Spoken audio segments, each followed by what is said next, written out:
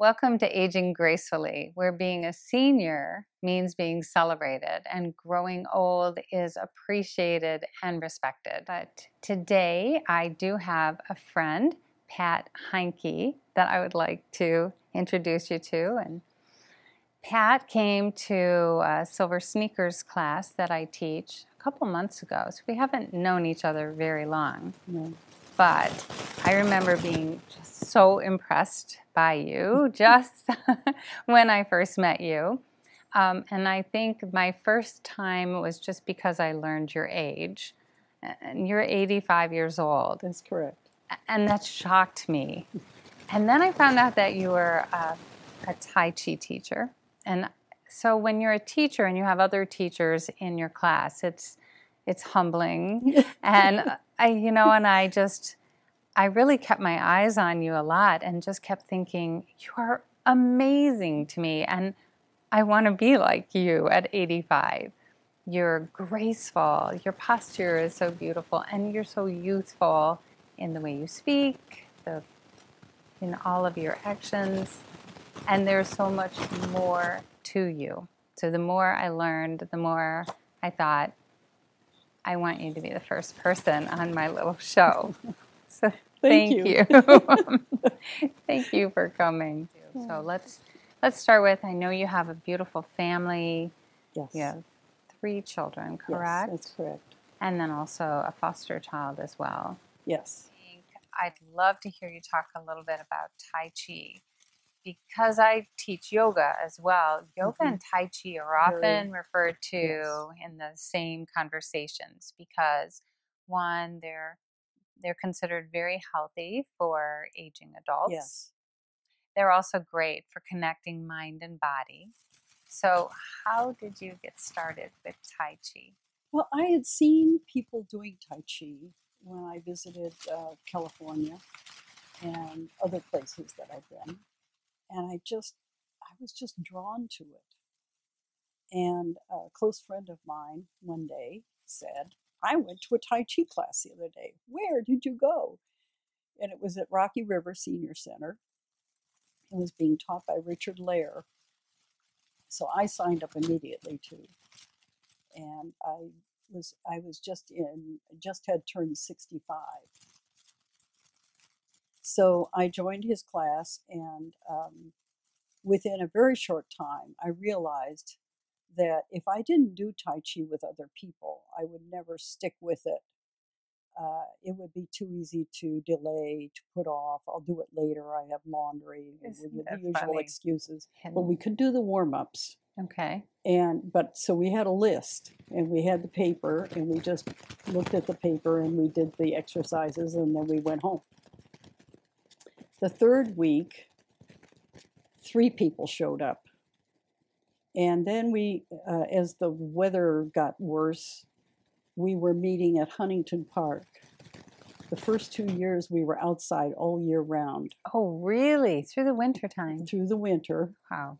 and uh, by this time we were up to six people and um, another couple wanted to join us but they had both had open heart surgery and they couldn't tolerate the cold they Mhm. found out we could do it at westgate mall in the center when the mall walkers were walking around before the stores opened Okay. so we were there for 10 years So you had a place to go indoors Yes. now. and we went in we still went outside to huntington park in the summers and when they tore the mall down we had to look for another place to go. My theory was it should never be a fee to do it and it should be in a public space. And um, so uh, it was difficult to find a place that would allow us to come in. And one of our members at that point had some pull with the city of Bay Village, and they they um, talked them into letting us use the Bay Youth Center It was behind City Hall uh, because the kids are in school all day, Mhm. and we could use it for that hour in the morning.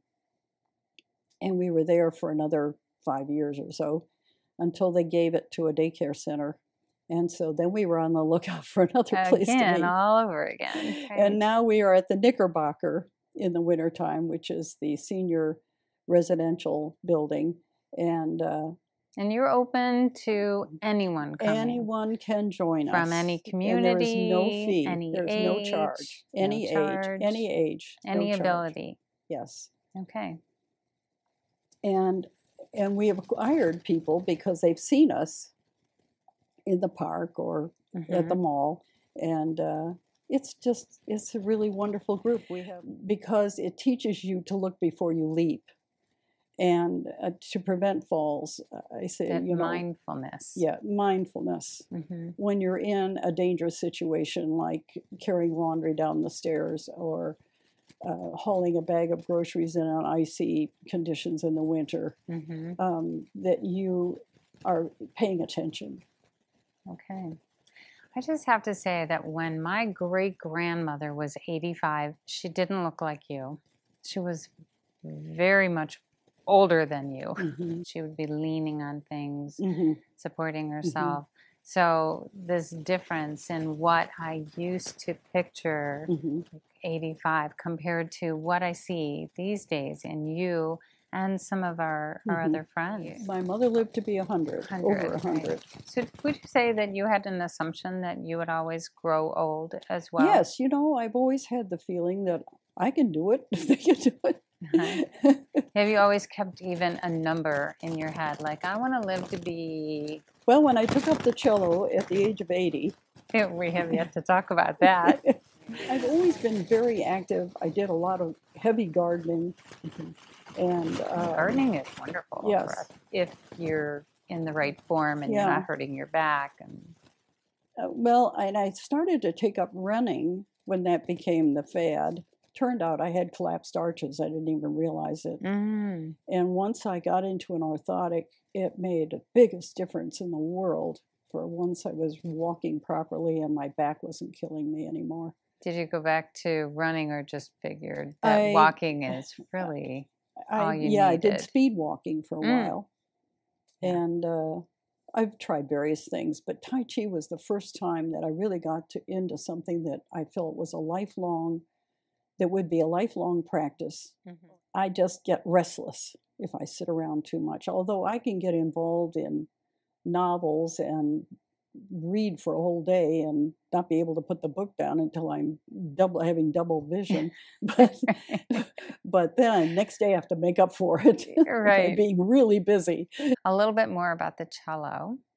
You already had played instruments. You were already musically inclined, let's say. My, if I try to play the violin and hold my hand in this position, the fingers tend to lock down and I have to pry them off the strings. Mm, With the cello, you're holding your hand flat against the the uh, keyboard, and Mhm. uh, and it it it just um, and you don't even use your thumbs. So, what's wonderful about your story is that you still didn't quit. You just found something else Right. that would work. And that's wonderful to hear. Mhm. And I think so inspiring too. And we ha- we are required to perform in two concerts, one in December and one in May, and uh, I was shocked and horrified when I heard that my very first year, my very first semester, I was going to have to perform in a concert. I was a nervous wreck. Really? But how wonderful that you did it. yes. You know, so again, you just take everything to another level. I love this about you because you didn't like just say, well, I think I'll start to learn the cello. I mean, you took it above that.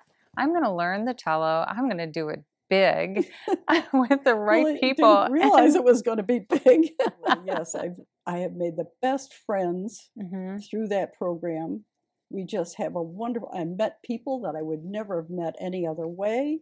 Mhm. Professors at BW who were in the program, teachers from all over the area. Uh, it's just the most. It's the most amazing group of people. So I've had some seniors tell me that the best way to go through your senior years is to keep making new, New friends, friends. new friends, Yes. young friends, so that you're not focused on your losses. Exactly, You keep, because the, they do accumulate. You have a Mhm. lot of losses when you get to this Right. age. and so you could just focus on that and just be sad, but you choose not to. I, I want to be like you, Pat. At 85, I want to be able to say the wonderful things that I have given as as well as you have. Okay, well, you're going to teach me some Tai Chi today, right? Mm-hmm. So let's get ready. So, all right, here we go. Okay. I'm your student now. Okay. Well, in warm-ups, we begin at promptly at 9:30 at the park and we shift the weight from right to left to right to left. Try to keep the knee over the toe. Ball of chi is between the hands. We're going to turn the hip and we're going to face away from the direction that we're leaning. So you the weight is on the foot that's behind you as you turn mm-hmm. and sink down as low as you can go comfortably. And then you open the arms like a bird opening wings, lifting elbows, wrists, press out with the hands. Elbows, wrists, press out with the hands. Just It's like a dance. it is. It's beautiful. And it's beautiful to see a whole group of people doing it. I can and everybody imagine. moving at the same. It's like watching the waves blow over seaweed and all the fronds move. Mhm. And you see everybody in the group turn. It's just lovely. And then we're going to move on to experiencing your work with the cello, you amazing woman. okay. All right. I'll do the best I can. We'll see how it goes. Okay. So- The Radetzky March by Strauss. Okay, so this is going to be exciting. And we talked earlier about your hands, and can you show me the position of your hand with this? How it's yes, it's, it's- this was why I took up the cello was because the hand can stay flat against the strings. I don't have to hold it like a violin. Okay.